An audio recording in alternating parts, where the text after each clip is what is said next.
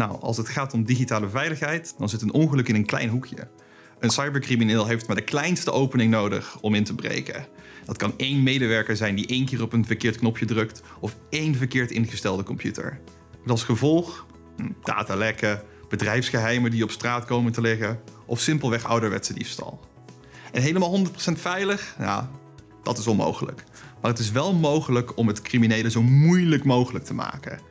En de goede eerste stap om dat te doen is door de digitale veiligheid te laten controleren door experts.